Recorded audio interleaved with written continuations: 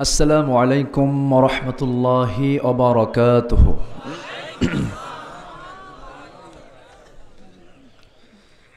إن الحمد لله الأكرم الذي خلق الإنسان وكرم وعلمه من البيان ما لم يعلم. فسبحان الذي لا يحصى امتنانه باللسان ولا بالقلم. نشهد أن لا إله إلا الله وحده لا شريك له. ونشهد أن سيدنا وحبيبنا ومولانا محمدا عبده ورسوله. الذي أرسله بالحق بشيرا ونذيرا. وداعيا إلى الله بإذنه وسراجا وقمرا منيرا. فقد قال الله تعالى في كلامه المجيد وفرقانه الحميد. أعوذ بالله من الشيطان الرجيم. بسم الله الرحمن الرحيم.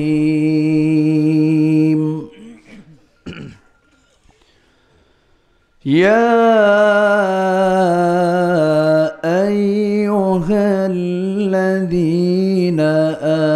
آمنوا استعينوا بالصبر والصلاة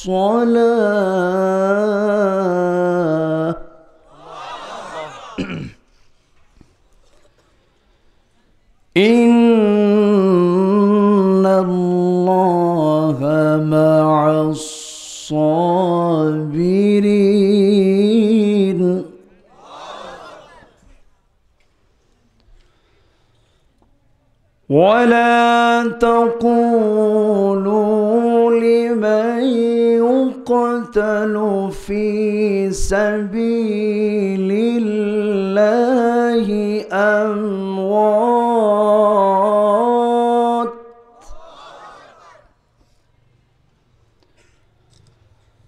بل أحياء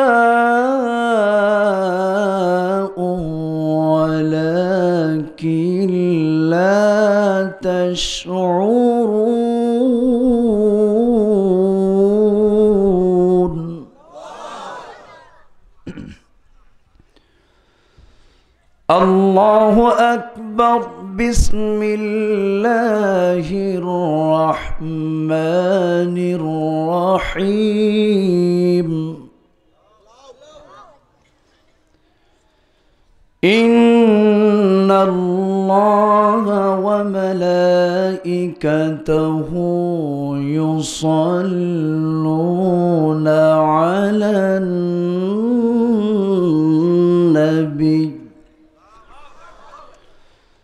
يا أيها الذين آمنوا صلوا عليه وسلموا تسليما. اللهم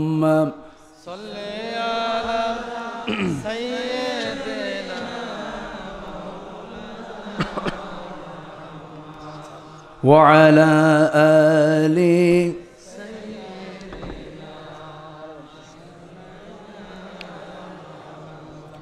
একটু মহব্বত দিয়ে নবীর প্রেমে মাতোয়ারা হয়ে জবান খুলে উচ্চ আওয়াজে সবাই বলুন আল্লাহ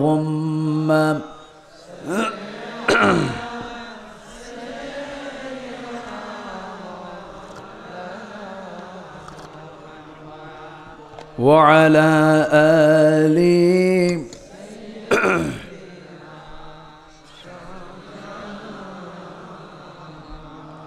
মোহাম্মদ একটি নামে এত প্রেমের ঢল মোহাম্মদ একটি নামে এত প্রেমের ঢল জগৎ জুড়ে ভালোবাসা অবাক কোলাহল মোহাম্মদ একটি নামে এত প্রেমের ঢল আল্লাহুম্মা صل على سيدنا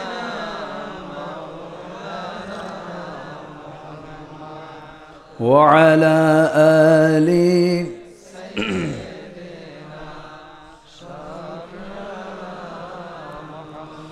সবাই বলুন বালাগাল উলা বিকামালিহি কাশাফাত তুজা বিজামালিহি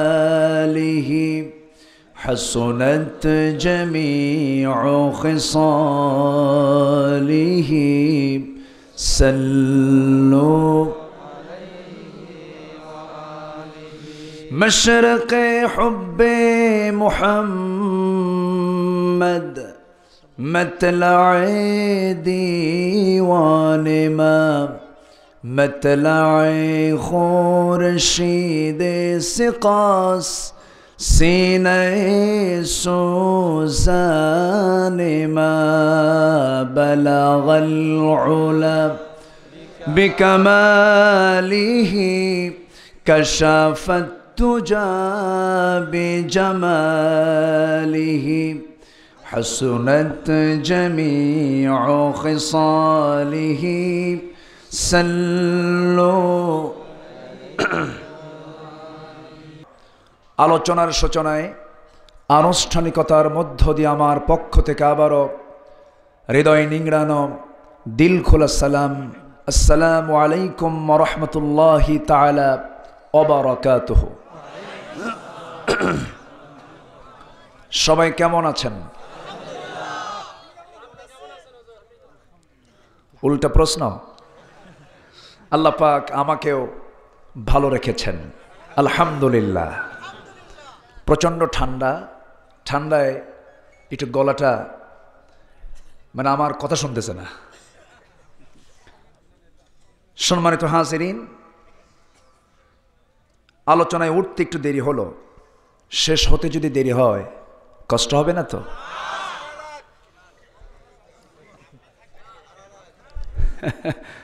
আচ্ছা। এতক্ষণে মাহফিল শেষ হয়ে যাওয়ার কথা। এখন তো শেষ শেষ টাইম শেষ ক্লাস খুব জটিল। শিক্ষকের নেওয়াও কষ্ট হয়, ছাত্রের থাকাও কষ্ট হয়। এরপরেও যেহেতু উঠতে একটু দেরি হলো, শেষ পর্যন্ত সবাই থাকতে রাজি আছেন তো? যে মহান আল্লাহ সুবহান হওয়া তালা সারাদিনের সকল ব্যস্ততা কেটে ওঠে। ক্লান্ত, শ্রান্ত দেহটাকে এই শীতের আরামের লেপের নিচে না গিয়ে যে মহান আল্লাহ পাক আমাকে আপনাকে এমন একটি বরকতপূর্ণ জায়গায় আসার, বসার তাওফিক দিলেন, শকর আদায় করি, মোহাব্বাতান বলে উঠছি, আলহামদুলিল্লাহ। আবারও বলছে, আলহামদুলিল্লাহ। সবাই বলুন আল্লাহ ইন্নি আসআলুকা আল হুদা والتقى والعفاف والغنى সবাই বলুন اللهم لك أسلمت وبك آمنت وعليك توكلت وإليك أنبت আমরা আল্লাহ তাআলার শকর আদায় করে নিলাম। সম্মানিত হাজিরিন, আমি আলোচনার সূচনায় মহাবিশ্বের চিরবিস্ময়, বিপন্ন পৃথিবীর অনির্বার্য ঠিকানা আল কোরআনুল করিমের সর্ববৃহৎ দুইশো ছিয়াশিটা আয়াত সম্বলিত সুরা, সুরাতুল বাকারার একশো বাউন্ন তিপ্পান্ন আয়াত দয় আমি তেলাওয়াত করেছি। গত বছর আমি আলোচনা রেখেছিলাম সুরাত তৌবার একাত্তর নম্বর আয়াতকে সামনে রেখে। এই দুটো আয়াত আমি তেলাওয়াত করেছি। এই দুটো আয়াতকে সামনে রেখে আমি কিছু কথা উপস্থাপন করতে চাই। আল্লাহ পাক সবার আগে আমাকে আমল করার নিয়তে বলার এবং আপনাকেও শেষ পর্যন্ত মনোযোগ সহকারে শোনার তৌফিক দান করুন। একটু জোরে বলি আল্লাহ আমিন। সম্মানিত ভাইরা, যে কিতাব নিয়ে আমরা বসে আছি, এই কিতাব যদি নাজিল না হতো, এ মাহফিল হতো? হতো না। কোরআন আছে, মাহফিল হচ্ছে। আর যে কথাগুলো আমরা শুনতে আসি, যে ওয়াজ শুনতে আসি, এ ওয়াজ কি মূলত কোনো বক্তার? না আল্লাহর। ইয়াইদুকুম লাআল্লাকুম তাদাক্কারুন আল্লাহ তোমাদেরকে ওয়াজ করে শোনাচ্ছেন। ওয়াজগুলো কিন্তু কোনো বক্তার না। ওয়াজ হচ্ছে মূলত কোরআন শরীফের যত কথা, যত ওয়াজ, সব কার ওয়াজ? আল্লাহর ওয়াজ। থার্টি ফার্স্ট নাইট চলে, বৈশাখী মেলা চলে, বসন্ত মেলা চলে, হেমন্ত মেলা চলে। কিন্তু কিছু কিছু স্থানে, সব স্থান বলব না, কিছু কুলাঙ্গারের জন্য তাফসির মাহফিলকে বন্ধ করা হয়। এরকম আছে না নাই? আছে। অথচ ওগুলো বন্ধ হওয়া দরকার ছিল। বৈশাখী মেলায় গেলে তো সব হয়। হ্যাঁ? সব হয় না? আর এখানে আসলে কি হয়? এখানে এসে কাদা ছোড়াছড়ি হয়, জুতো ঢেলে ঢিলি হয়, বৈশাখী মেলায় হয়। বরং এখানে আসলে কি হয়? আল্লাহ রাব্বুল আলামিন বলেন وَإِذَا تُلِيَتْ عَلَيْهِمْ آيَاتُهُ زَادَتْهُمْ إِيمَانًا وَعَلَى رَبِّهِمْ يَتَوَكَّلُونَ যখন কোনো বান্দার সামনে কোরআনে করিম যখন তেলাওয়াত হয় কোরআন শোনার সঙ্গে সঙ্গে তার ইমানটা শতগুণে বৃদ্ধি পেয়ে যায় জোরে বলে সুবহান আল্লাহ কোরআন শুনলে পরে ইমানটা তাজা হয়। ইমানের যে জজবা, এটা সৃষ্টি হয়। যে দিলে কোরআন তেলাওয়াত বেশি, সেই দিলে নিফাকত কম। সেই দিলে অসুস্থতা কম। কোন অসুস্থতা? মানুষের অসুস্থতা কিন্তু কয়েক প্রকার আছে। ইমানের অসুস্থতা আছে না নেই? আছে।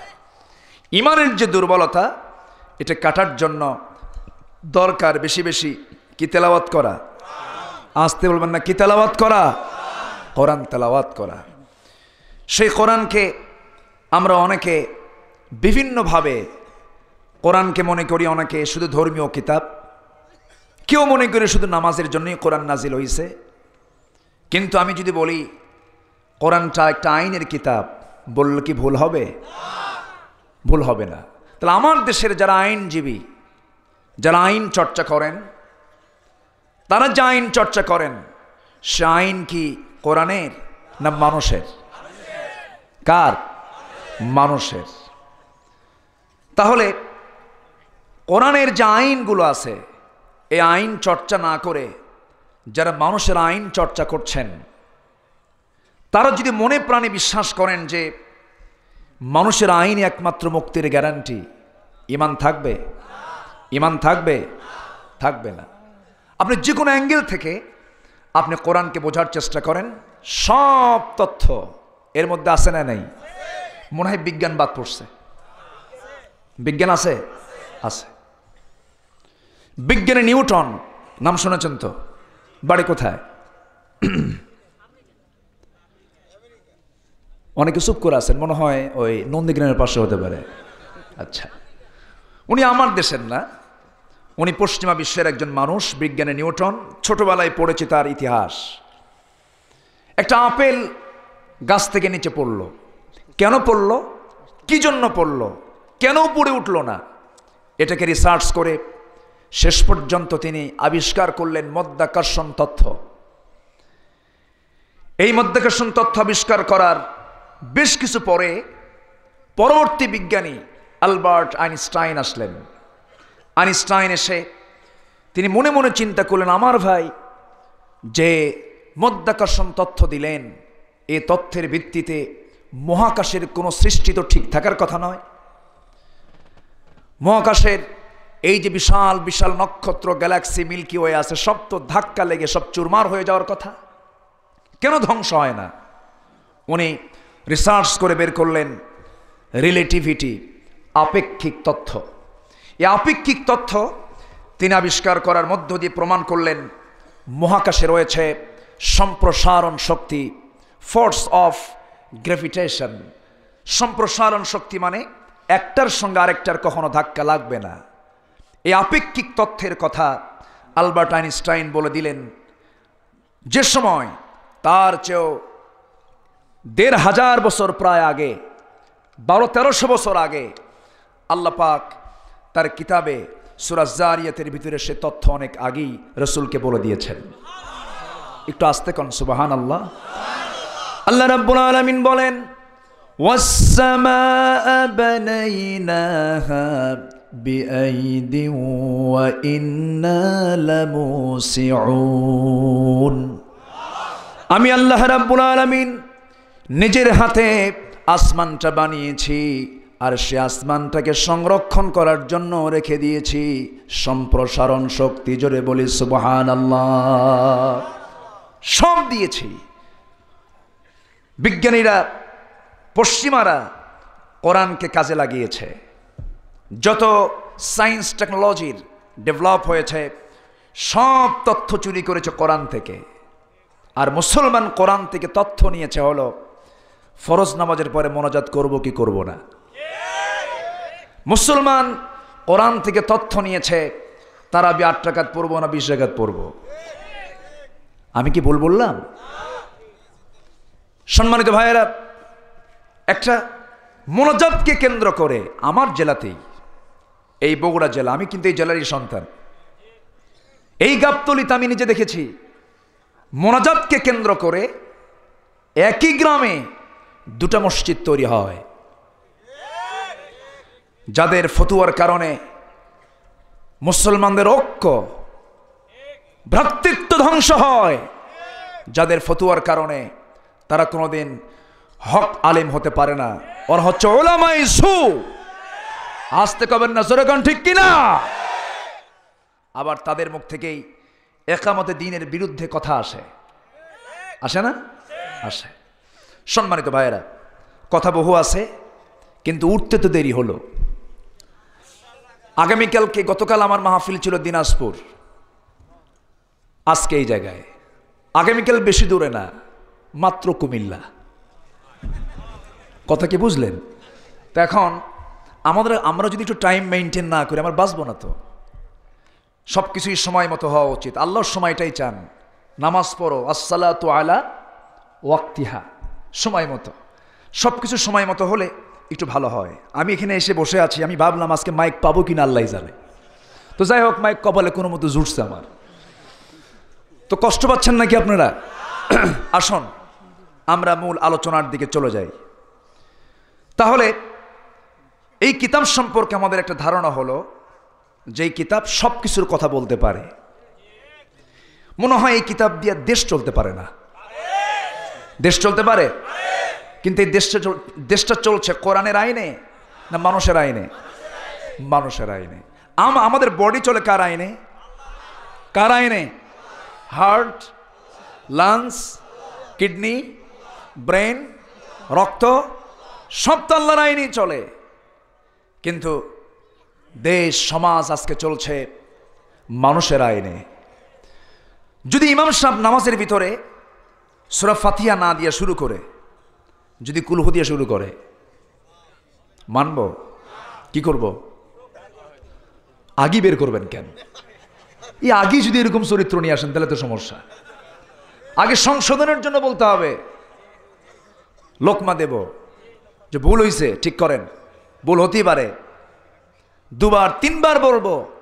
এরপরেও যদি কাজ না হয়, তখন কি করব? ঘাট ধরে সেখান থেকে তাকে বের করে দেব। কেন? সে স্বৈরাচারী ইমাম। কি ইমাম? স্বৈরাচারী ইমাম। সমাজ চালাতে গিয়ে যদি কেউ আল্লাহর আইনকে প্রত্যাখ্যান করে, দুনিয়ার আইনকে যদি কেউ চাপিয়ে দিতে চায়, মানুষের মাঝে, মানুষের উপরে, তখন আমাদের লোকমা দেওয়া আমাদের দায়িত্ব আছে না নাই? আচ্ছা লোকমা দেব, প্রতিবাদ করতে হবে। কোরআনকে শুধু আমরা কাগজের পাতায় দেখতে চাই না। হাফেজের মাথায় মাথায় দেখতে চাই না। কোরআনকে আমরা দেখতে চাই সমাজের পাতায় পাতায়। এই দৃশ্য দেখতে চান কারা কারা? দুহাত উঁচু করে দেখান।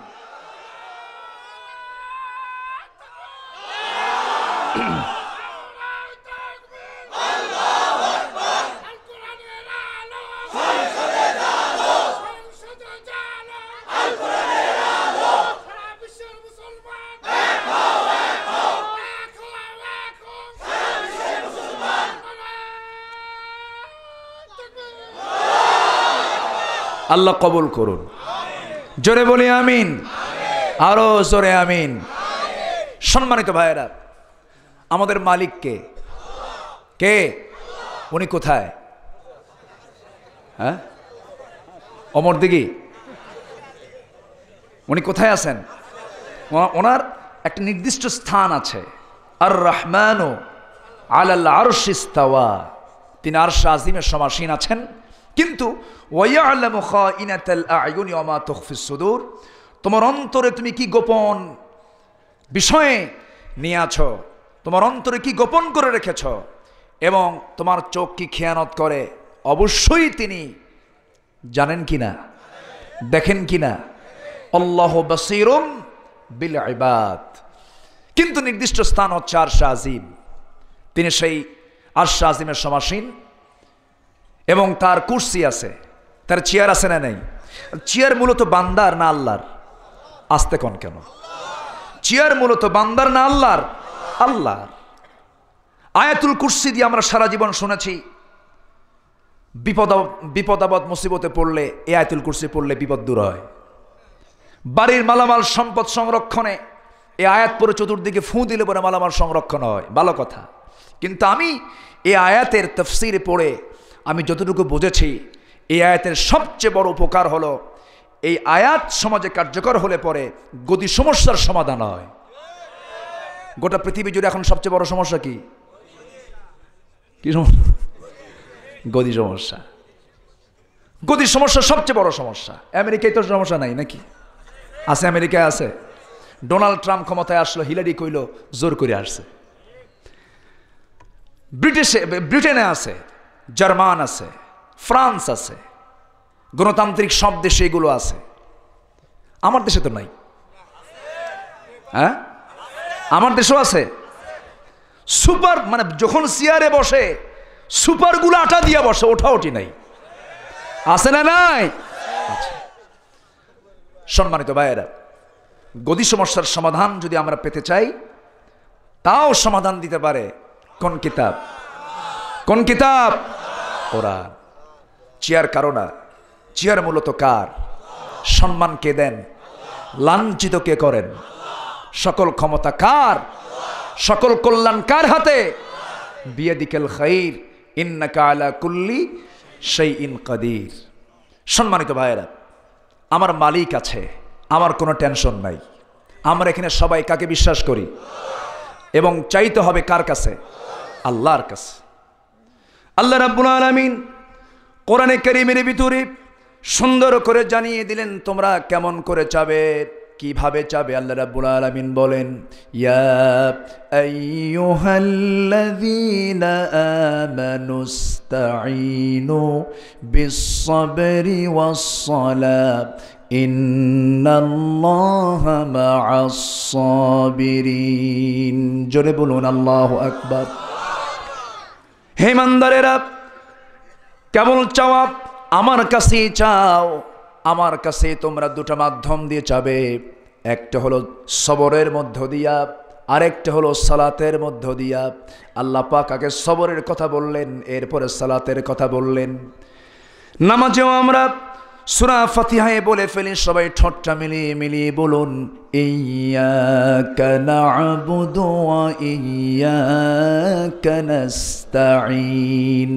কেবলমাত্র তোমারই ইবাদত করি, তোমার কাছে সাহায্য চাই।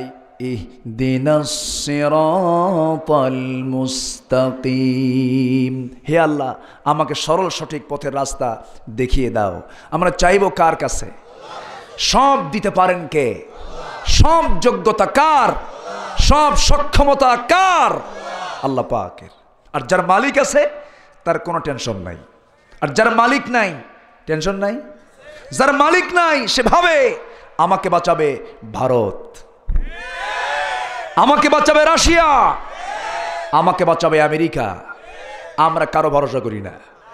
আমাকে বাঁচাবেন কে? আল্লাহ পাক। কষ্ট হচ্ছে? আলোচনা চালাবো? আচ্ছা। বাঘ গরুকে করেছে তাড়া গরু শান্ত, বাঘ হিংস্র। গরু মাংসাস গরু তৃণভোজী, বাঘ মাংসাসী দৌড়াচ্ছে প্রাণের ভয়ে গরু। বাঘও দৌড়াচ্ছে তার পিছে। শেষমেশ গরু সারতে না পেরে সামনে পাইছে পানি, মারছে লাফ। পানির পরিমাণ ছিল কম, কাদার পরিমাণ বেশি।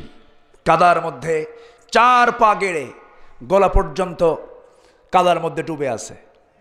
গরু বাঘও চিন্তা ভাবনা না করে, ও চোখ বন্ধ করে মারছে লাফ। লাফ মেরে দেখে গরুর যে হাল, ওরও সে হাল। এখন গরু বাঘের দিকে তাকায় বলে, রয়্যাল বেঙ্গল টাইগার, কি খবর? খবরটা কি তোমার? বাঘ কয় লাভ মারলি মারলে এই জায়গায় কেন? গরু কয়, আমি এখন নিরাপদ। আমার কোনো বিপদ নাই। কারণ আমার মালিক আমাকে সন্ধ্যা পর্যন্ত খুঁজে খুঁজে অবশ্যই বের করবে। আমার মালিক আছে। তো রয়্যাল বেঙ্গল টাইগার, তোমার মালিক কই? গর্জন দিয়ে বলে, আমার আমার মালিককে, আমি তো বনের রাজা। কে বেশি হুঙ্কার ছাইরো না, মালিক আসুক। মালিক আসতেছে লাঠি নিয়া। লাঠি নিয়ে এসে গরু তোলার আগে ওই লাঠির পিটন পড়বে গরুর মাথায় না বাঘের মাথায়? কেন বাঘের মাথায় পড়বে? গরুর মালিক আছে। বাঘের কোনো মালিক? বাঘের কোনো মালিক নাই। আকাশের নিচে থাকো। জমিন অবস্থান করে। সেকেন্ডে সেকেন্ডে আল্লাহর দেওয়া নিয়ামত অক্সিজেন ভোগ করো, গ্রহণ করো। সব নাজ নিয়ামত ভোগ করে প্রকাশ্যে ঘোষণা দাও। আল্লাহ বলতে কেউ নাই। নাস্তুককে চেতনা লালন কর। ওদের মাথায় দরকার শক্ত লঠির বাড়ি। ওই সমস্ত নাস্তিক মুরতাদদের লড়াই, মুরতাদদের বিরুদ্ধে লড়াই করার জন্য রাজি আছেন কারা কারা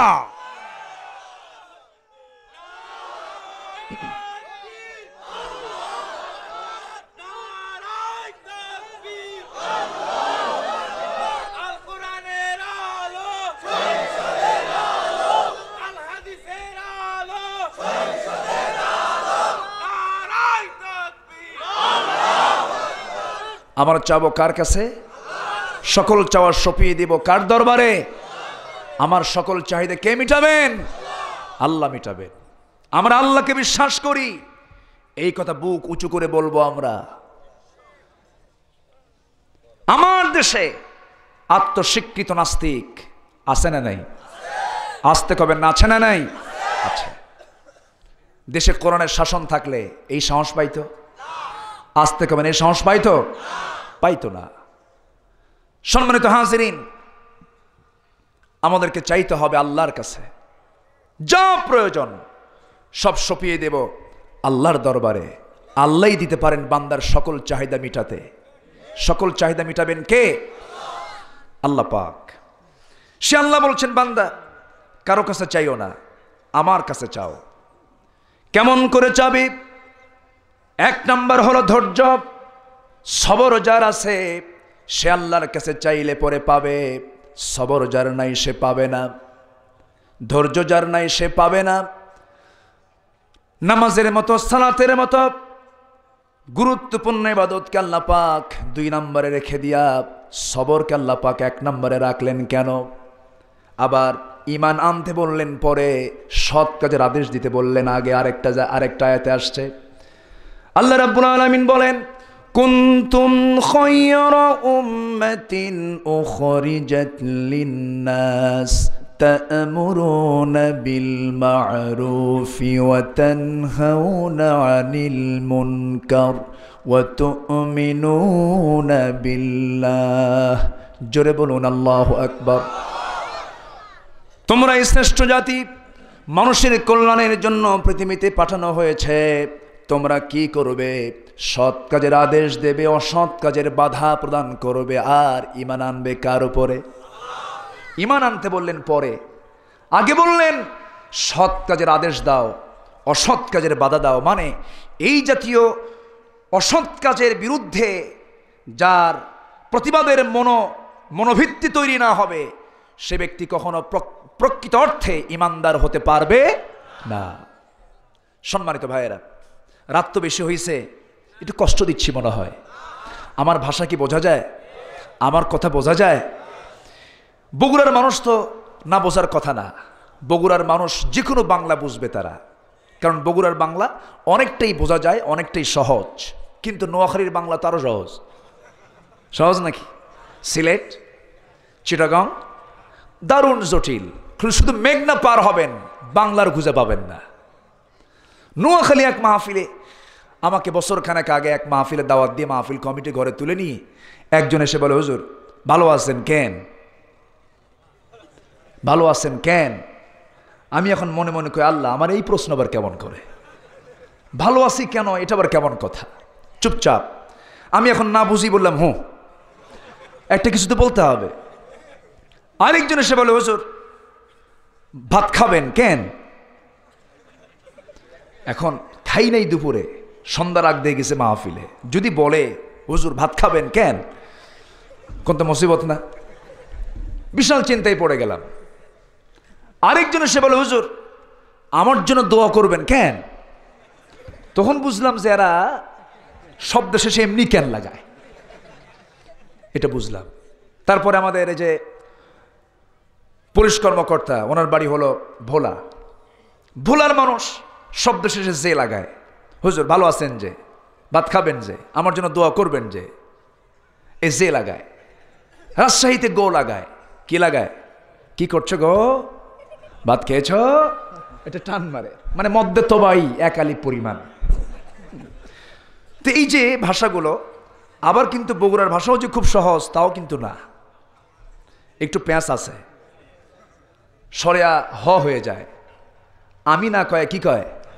আমি গেছিলাম না, কয় গ্যাস ঠিক আছে চেয়ারম্যান সাহেব কথা বলতেছিলেন, কিছু লোকাল বাক্য লোকাল শব্দ তার মধ্যে আসতেছিল, খুব মজা পাচ্ছিলাম। তো এই যে কথার ভিতরে, প্রত্যেকটা ভাষার ভিতরে এত সুন্দর মানে সুর, ভাষার কিছু কিছু এক্সেস শব্দ দিয়ে ভাষার সৌন্দর্যকে আল্লাপাক বাড়িয়ে দিয়েছেন। সুবাহান আল্লাহ বলেন। জোরে বলি সুবাহান আল্লাহ ভাষাগুলো কার মূলত? আসতে বলুন ভাষাগুলো কার? আল্লাহ পাকের। যাক, আমি ওইদিকে না যাই। তবে হ্যাঁ কোরআনে করিম এটা এমন একটা ভাষা, প্রত্যেকটা জিহবর সঙ্গে কোরআনকে ব্যালান্স করে দিয়েছেন।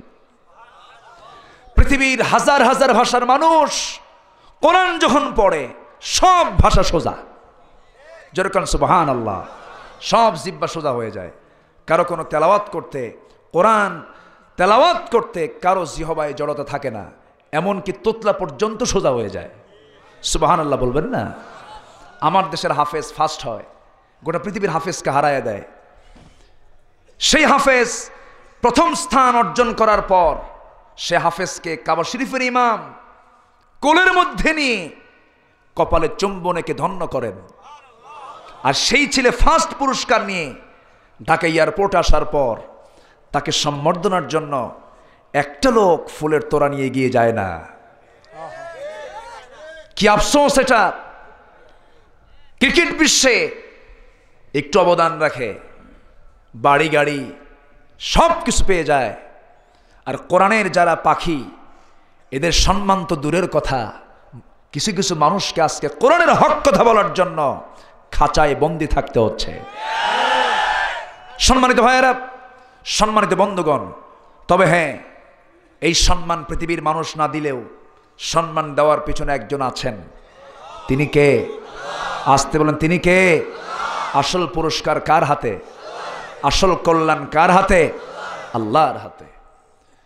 আমার বন্ধুগণ, আমরা আল্লাহর কাছে চাব, আল্লাহর কাছে প্রার্থনা করব, যত চাওয়া সপিয়ে দেব আল্লাহর দরবারে।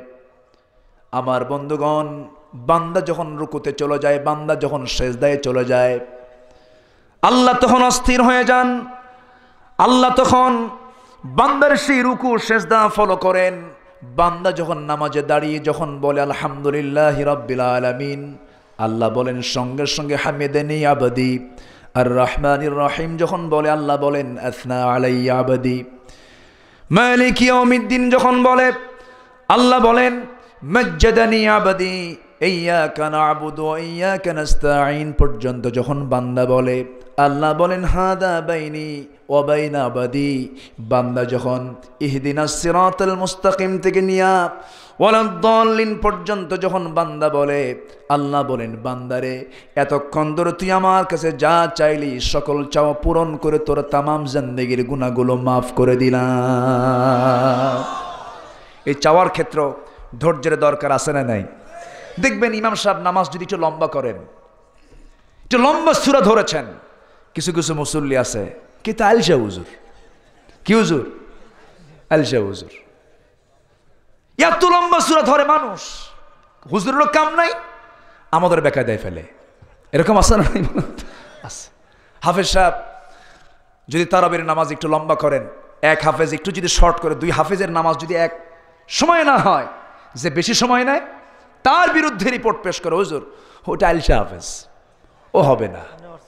সামনে বার তাকে আর নেওয়া যাবে না। কেন? বেশি সময় নেন, অথচ বেশি সময় নিতে পারে যে হাফেজ, সেই হচ্ছে যোগ্য। সে কি? যোগ্য। তাহলে সব জায়গায়, সব কাজে ধৈর্যের দরকার, আছে না নাই? এখন ধৈর্য কি? সবরটা কি? সবরের ব্যাপারে একটা বিশাল আলোচনা আছে, বিশাল লম্বা কথা আছে। এক নম্বর সবর হচ্ছে সকল প্রকার হারাম কাজ থেকে নিজেকে দূরে রাখা, নিজেকে বিরত রাখা, সকল প্রকার হারাম কাজ থেকে নিজেকে গুটিয়ে রাখা। যে ব্যক্তি এই কাজটা করতে পারবে, সে হচ্ছে এক নম্বর সবের। আলহামদুলিল্লাহ বলেন। এটা কি সহজ কাম? এটা কিন্তু সহজ কাম না। নাম্বার দুই হল, ইবাদতে নিজেকে বাধ্য করা মন চায় না, ভালো কাজটা করি, মন্দ কাজটা করি এটাই মন চায়। মন চায় যে শেষ রাত্রে আমি ঘুমিয়ে থাকি তাহাজ্জত পড়ব না। কিন্তু এবাদতে নিজেকে বাধ্য করা, এটা হচ্ছে দুই নম্বরের ধৈর্যের পরিচয়। পাঁচ অক্ত নামাজ পড়বই আমি। এটা আমার ডিউটি, ফরজ দায়িত্ব। আল্লাহ পাক আমাকে এই ফরজ ডিউটি দান করেছেন। এরপরও আর ওভার ডিউটি আছে না নাই বলেন। দুনিয়ার জিন্দগির সফলতার জন্য মূল ডিউটির পাশাপাশি যদি ওভার ডিউটি আমরা পালন করি, আল্লাহর সেই শ্রেষ্ঠ প্রাপ্তি আল্লাহর পক্ষ থেকে জান্নাত পাওয়ার জন্য ওভার ডিউটির দরকার আছে না নাই? এই তাহাজ্জুদ নামাজ, এমন একটা নামাজ বিশাল ধৈর্যের দরকার। শেষ রাত্রে বান্দা যখন ঠান্ডা পানিতে উজু বানায়, নামাজে যখন দাঁড়িয়ে যায়, আল্লাহ দুনিয়ার আকাশে এসে বলেন, বান্দা, তোর যত চাওয়া সব চাওয়া আমি আল্লাহ কবুল করে নিলাম। সব জায়গায় ধৈর্য। আর আমরা ধৈর্য মানে কি বুঝে জানেন? আমার একজন পিছাইলো আমি পেটন খাই চুপ করে থাকলাম। এটার নাম ধৈর্য না। আমি যদি মজলুম হই, আমাকে যদি কেউ জুলুম করে, ও যেন জালিম না হয়, ও যেন জুলুম করতে না পারে, সেই ব্যবস্থাও মজলুমের নেওয়ার দরকার আছে না নাই? আসতে বলবেন না, আছে না নাই? আছে। লাগাও খানিক। এটা না। এটা ইসলামের কনসেপ্ট না। সম্মানিত ভাইয়েরা, এরকম কিছু কিছু লোক আছে,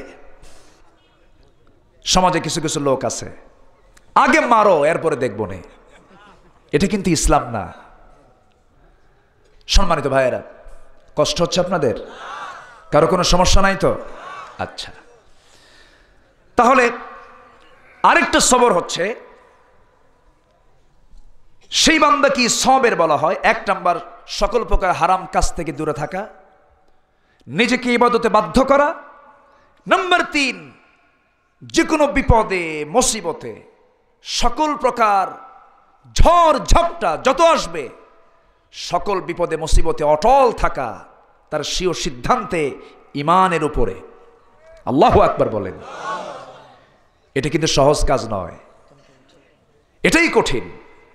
এবং সেই কঠিন পরীক্ষার সম্মুখীন হয়েছেন সাহাবে কেরাম। আম্বে কেরাম, আমরা চার ইমামের নাম শুনেছি। চার ইমামের কোন ইমাম, তারা সুহালে, ভালোভাবে দুনিয়াতে বেঁচে থাকতে পারেননি। বিপদ, মুসিবত এসেছে। ফার্স্ট যিনি ইমাম, আবু হানিফার মৃত্যু হয়েছে বাড়িতে না জেলখানায়? বাড়িতে না জেলখানায়? জেলখানায়। আমি জানি ওঠার সিলসিলা এখন চালু হবে, কারণ কিছুক্ষণ, অনেকক্ষণ আগে বসেছেন। নিম্ন চাপ তো হবেই। নিম্ন চাপ বুঝলেন তো? এটা এই চাপ আটকান কিন্তু খুব কঠিন। আমি বেশি সময় নেব না, আর একটু সময় নেব আমি। মেহরবানি করে আমি করজোরে মিনতি জানাই, একটা লোক উঠবেন না। আমি কেবল আলোচনার গভীরে যাচ্ছি আস্তে আস্তে। আমি যার, যাকে পাশে রেখে আমি কথা বলছি, উনি কিন্তু আমার সিনিয়র। আমার বয়সের, উনি সিনিয়র এবং জ্ঞানের দিক থেকেও সিনিয়র। আমাকে উনি পড়াতে পারবেন এমন যোগ্যতা রাখেন। আল্লাহ, তুমি তার হায়াতকে লম্বা করে দাও। এখানে অনেক আলেম আছেন যিনি আমাকে সকাল বিকেল পড়াতে পারবেন। আমি তাদেরকে নিয়েই কথা বলছি, ঢোলের মতো। ঢোল তো বাজে, খালি আওয়াজ হয় বিদ্রোধে কিচ্ছু নাই। তো আমি একটা শূন্য ঢোলের মতো কিছু কথা বলার চেষ্টা করছি। কিন্তু আপনি যদি চলে যান, আমি কথা বলব কেমনে? সবাই কি থেকে সহযোগিতা করবেন? আমার এতগুলো কথা বলা লাগতো না, যদি সঠিক সময় আমি উঠতে পারতাম। মানে রাত বারোটার দিকে বক্তাকে তুলে দেওয়া মানে কি জানেন? পাগলির সাথে ঘর সংসার করা। কথা বুঝলেন কি? মানে বউ পাগলি কপালে জুড়ছে, এখন সংসার না করলে তো উপায় নাই। এই হচ্ছে অবস্থা। এই ভুলটা আগামীতে যেন আর না হয়, এটা খেয়াল করার চেষ্টা করবেন। সম্মানিত ভাইয়েরা, তাহলে তিন নম্বরে বিপদ হচ্ছে যত প্রকার আপদ বিপদ আসুক না কেন, হুমকি ধামকি, জেল জুলুম, নির্যাতন নিপীড়ন যত আসুক না কেন, ইমানদার টিকে থাকবে কার পথে? আসতে বলবেন না কার পথে? আল্লাহর পথে। আমার বন্ধুগণ, আল্লাহ আমার ভরসা, আল্লাহ আমাকে বাঁচাবেন। আল্লাহ যদি আমাকে হেফাজত করেন, পৃথিবীর কোন অপশক্তি আমার ক্ষতি সাধন করতে পারবে না। একটি ইতিহাস মনে পড়ে গেল। একজন ইহুদি কন্যা নিয়মিত কোরআন চর্চা করেন, কোরআনটা পড়তে থাকলেন। কোরআন পড়তে পড়তে মহিলার টার্গেট ছিল, আমি কোরআনে করিমের কি কি ভুল আছে একটা একটা করে খুঁজে খুঁজে বের করব। সেহুদি কন্যা কোরআন পড়তে নিয়া, কোরআনের ভুল তো দূরের কথা নিজের জীবনের ভুল খুঁজে পেয়ে এক পর্যায়ে তিনি সিদ্ধান্ত নিলেন, বললেন, লা ইলাহা ইল্লাল্লাহু মুহাম্মাদুর রাসূলুল্লাহ সাল্লাল্লাহু আলাইহি ওয়াসাল্লাম। কালেমা পড়ল ইহুদি কন্যা। বাপ ইহুদি এসে বলে, মা, তুমি কি করলা এটা? আমি হলাম ইহুদিদের লিডার আর তুমি কালেমা পড়ে মুসলমান হলে? এটা ছেড়ে দাও। মেয়ে বলছে, বাবা, তুমিও কোরআন পড়ো, তুমিও বাধ্য হবে ইসলাম গ্রহণ করতে। আমি চাইনি, কিন্তু কোরআন আমাকে বাধ্য করেছে মুসলমান বানাতে। একটু আসতে কারণ সুবাহান আল্লাহ তারা ইসলাম গ্রহণ করেছেন, বুঝে শোনে, আর আমরা ইসলাম গ্রহণ করেছি না পাইছি? পাইছি এই জন্য আমরা ইসলামের গুরুত্বটা বুঝি না। সম্মানিত বন্ধুগণ, প্রথম হুকুম কিন্তু ইসলামের যে প্রথম হুকুম, প্রথম জহিটা নাজিল হলো, নামাজ পড়ো, রোজা রাখো, তা কিন্তু নয়। প্রথম হুকুম হচ্ছে ইকরা, পড়ো। আগে পড়ো, আগে জ্ঞান অর্জন করো। কিন্তু আজকে আমার দেশে যে পড়াশোনা হয়, সেই পড়াশোনা দিয়ে কি আল্লাহকে চেনার কোনো কায়দা আছে? অধিকাংশ পড়ার ভিতরে তৌহিদ, রেসালাত, আখেরাত, এই তিনটির মূল কোনো বিষয়ে শিক্ষা দেওয়া হয় না। এমন কি ফেন? মাদ্রাসার যে কারিকুলাম মাদ্রাসার যে শিক্ষা, কি বলে এটাকে? সিলেবাস এই সিলেবাসটাও যে চালু আছে, কিছুদিন আগেও ভালো ছিল, এখন কিছু ভেজাল ঢুকতেছে। এবং মূল যে সিলেবাস সেই সিলেবাস কিন্তু ব্রিটিশদের তৈরি করা সিলেবাস এই যে আলিয়া মাদ্রাসাগুলো আছে, এই আলিয়া মাদ্রাসার মূল যেটা, ক্যালকাটা আলিয়া এই আলিয়া মাদ্রাসার প্রথম আঠাশ জন প্রিন্সিপাল ছিল হলো খ্রিস্টান। আঠাশ জন প্রিন্সিপাল কি? খ্রিস্টান। তাদের রেখে যাওয়ার সেই কারিকুলামগুলো এখনও আছে। আমরা সঠিক ইসলামের মানে ইসলামের সঠিক ব্যাখ্যা, সঠিক যে দিক নির্দেশনা, আমরা এই সিলেবাসের আলোকে পাচ্ছি না। অনেক কামেল পাশ আছে। কামেলের ভূমিকা তার মধ্যে নাই। ভূমিকা হলো ক্যামেলের ভূমিকা। ক্যামেল। উটের ভূমিকা। অনেক সুপার আছেন। সুপার বুঝলেন তো? কিন্তু তাদের মুখ থেকে এমন কিছু কিছু কথা বের হয়। সুইপারও ফেল। আসতে কবেন না আছে না নয় আছে। আমি সবাইকে বলছি না ভালো আছেন। ভালো জেনেই ভালো থাকবেন না কেন? ভালো তো অবশ্যই আছেন। সম্মানিত ভাইয়েরা, সম্মানিত বন্ধুগণ, তাহলে এই ইসলামকে বোঝার কোনো পরিবেশ কিন্তু আমরা পাচ্ছি না। ইসলামকে বোঝার পরিবেশ তখনই পাওয়া যাবে যখন জমিন আইন প্রতিষ্ঠা হবে। কার? আসতে বলবেন না কার? আল্লাহ পাকের। আজকে যতটুকু শিক্ষা মাদ্রাসায় আছে, তাও মাদ্রাসার ভিতরে একটা পরিবেশ পাওয়া যায়। কলেজে আছে? ভার্সিটি আছে? আমিও ঢাবির ছাত্র ছিলাম। আমি ঢাকা ইউনিভার্সিটিতে পড়াশোনা করেছি। কি চিত্র? আজকে কাল কি ক্যাম্পাসের সামনে গিয়ে দাঁড়ান। শিক্ষা প্রতিষ্ঠানের যে হাব ভাব সেই গন্ধ কি পাওয়া যায়? না। ছাত্রছাত্রীরা, ছেলেমেয়েরা প্রকাশ্যে দিবালকে, শিক্ষকের নাকের ডগায়, গাছের জোড়া, গাছের গোড়ায়, জোড়ায় জোড়ায় সেই ছাত্রছাত্রী, যুবক, যুবতী ক্লাস শেষ করে বাইরে এসে সবার সামনে যে নির্লজ্জ আচরণ করছে ছাত- ছাত্রীর মাথার উপরে ছাত্র বসে থাকে, ছাত্রের উরুর উপরে ছাত্রী শুয়ে থাকে। এই দৃশ্যগুলো কি প্রশাসনের নজরে পড়ে না? আসতে কোন প্রশাসনের নজরে পড়ে না? পড়ে। যেন এই সমস্ত আপত্তিকর দৃশ্যই যেন হয়ে গেছে আজকে, চোখে সাধারণ কোনো বিষয়। এটাই যেন কালচার হয়ে গেছে আজ। চোখের সামনে এগুলো আমরা দেখতে পাচ্ছি। সম্মানিত বন্ধুগণ, কেন হচ্ছে এগুলো? ভার্সিটিতে তাওহিদের সালাত আখরাতের কোনো বয়ান দেওয়া হয় না। শিক্ষকরা সেখানে যে বয়ানটা দেয়, এই জন্য সেই বয়ান শুনে ছাত্ররা এমন সবক পায়। মাঝে মাঝে শুনি আমরা, ভার্সিটিতে ছাত্র শিক্ষক ছাত্রকে পিটায় না ছাত্র শিক্ষককে পিটায়? ছাত্র শিক্ষককে পিটায় কয়, সোজা হ। আছে না? আছে। মাদ্রাসায় পাবেন? আজ থেকে মানে মাদ্রাসায় পাওয়া যাবে? পাওয়া যাবে না। বরঞ্চ মাদ্রাসার কোনো ছাত্র বেয়াদিবি করলে এমন পিটান পিটায় লুঙ্গি খুলে যায়। জুব্বা ঠিক থাকে। জুব্বা থাকলে তো লুঙ্গি না হলেও চলে। সম্মানিত ভাইয়েরা, কেন? এটার মূল কারণ হলো কোরআনের শিক্ষা। চোখ বন্ধ করে আপনার সন্তানকে আগে মাদ্রাসায় দেন। চোখ বন্ধ করে।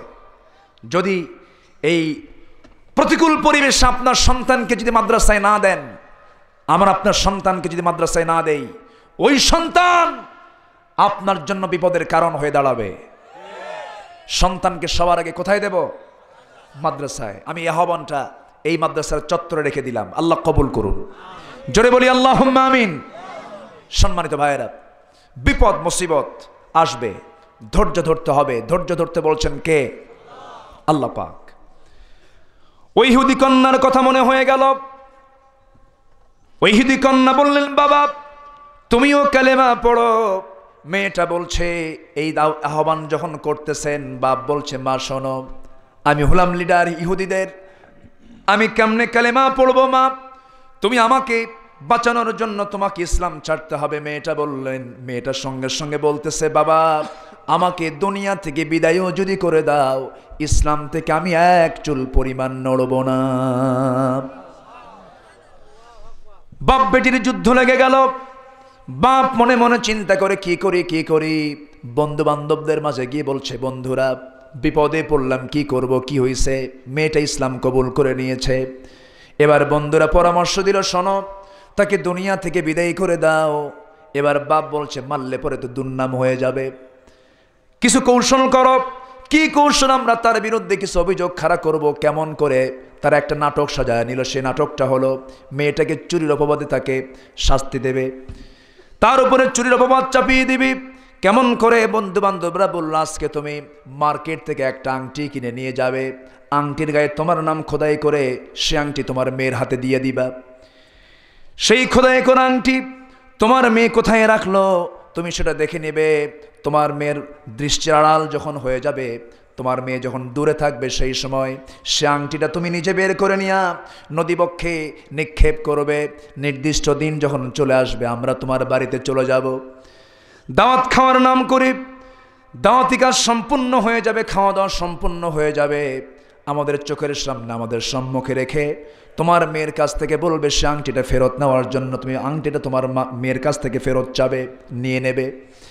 যখন সে নিতে গিয়ে আংটি যখন দিতে পারবে না, সেই সময় আমরা তাকে চুরির অপবাদ দিয়ে দেব।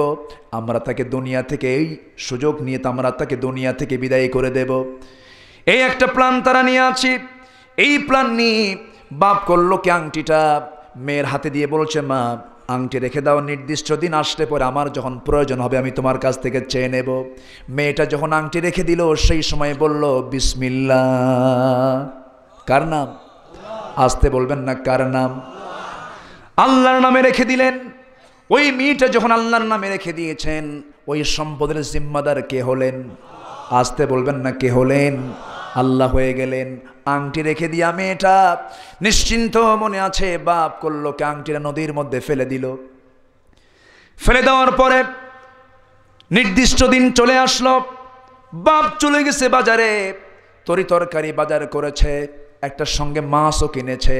মাছ আর তরি তরকারি কিনে এনে বইয়ের হাতে দিয়ে বলে, মেয়েকে নিয়ে সঙ্গে করে তোমরা রান্না বান্নার কাজ সম্পন্ন করে নাও।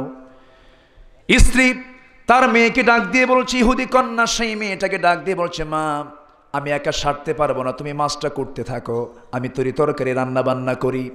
মেয়েটাকে যখন মাছ কোটার দায়িত্ব দিয়েছে, মাছটার গলায় যখন যখন বটির ফ্যাঁস লাগিয়ে দিয়েছে, ফাঁস লাগিয়ে দিয়েছে বটি দিয়া যখন মাছের গলায় যখন একটা টাচ করেছে, কাটা দিয়েছে নারী ভুড়ি বের করতে নিয়ে দেখতে পেলেন নারী ভুড়ির মধ্যে সেই বাবা রেখে দেওয়া আংটি তার হাতের মধ্যে চলে এসেছে। একটু আসতে কন সুবাহান আল্লাহ আরও আসতে সুবাহান আল্লাহ কে পারেন? আসতে বলবেন না, কে পারেন? আংটিটা হাতের মধ্যে নিয়ে পরক করে দেখতেছেন। সত্যি সত্যি সে বাবার রেখে দাও আংটি কি? না না না। আমার আব্বার নামও তো লেখা, এটাই তো সে আংটি।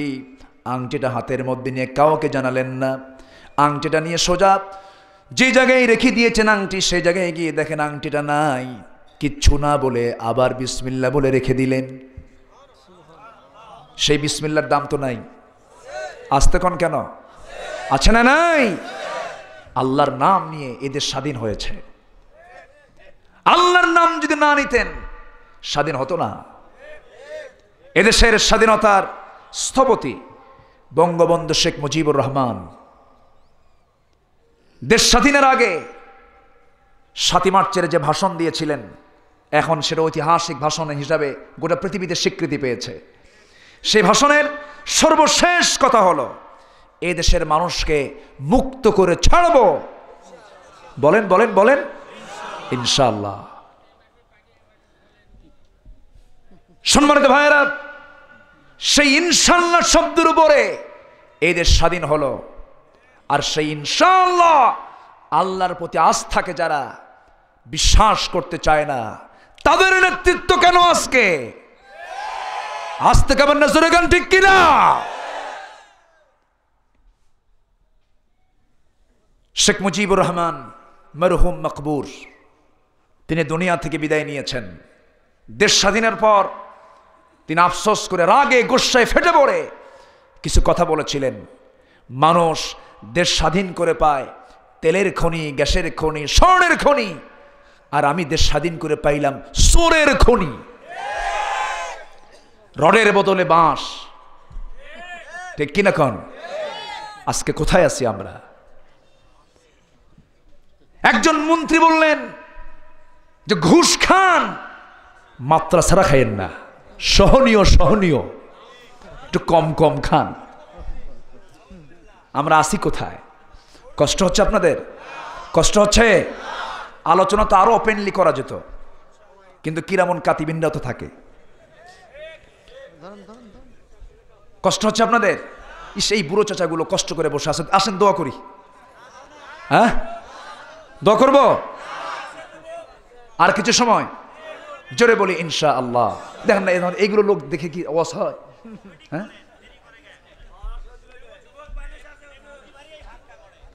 এই, আস্তে খান মহাসভার ভিত্তি কিন্তু এটা নয়। ফাইন করে বুঝে বুঝে বলতে হবে। সম্মানিত ভাইয়েরা, আমি খুবই খুশি, আমি আনন্দিত যে এত রাতে গভীর মনোযোগ দিয়ে শোনা, এটা বিশাল ধৈর্যের ব্যাপার। আলহামদুলিল্লাহ বলেন। এটাও সবর, এটাও কি? সবর, ধৈর্য। বসে থাকুন, আর কিছু সময়, আমি বিরক্ত করব না বেশি। রসুল কখনো বিরক্তির সময় বয়ান করতেন না। রসুলের বয়ান ছিল, আমরা তো হাদিস পড়েছি এশান নামাজ পরে রসুল দেরি করতেন না। Early to bed, early to rise এটা কোনো অন্য মনুষ্যের কথা নয়। বলেছেন মোহাম্মদ সাল্লাহ আলী আগে শুইতেন, আগে উঠতেন, আর এখন শেষে হয় আর বারোটায় হুঁশ ফেরে। ঠিক আছে না? এইদিকে